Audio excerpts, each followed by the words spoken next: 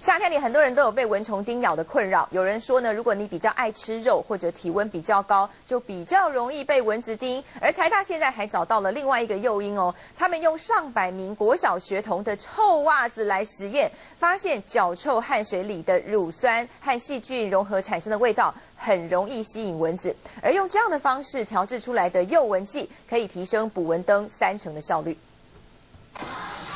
小朋友运动完满身大汗，穿了一整天的袜子脱下来之后，味道不太好闻。对，隔壁我比那个上大号的味道再轻一点点。但是蚊子却喜欢这样的味道。台大与捕蚊灯业者合作研究臭味对蚊子的吸引力，还搜集了上百双国小学童的臭袜子来做实验。因子酸跟乳酸这两种，那这两种成分是汗水本身已经具有具有的成分。基本上你只要把臭袜子绑在墙角，它其实就会有吸引吸引吸引蚊子的效果出来。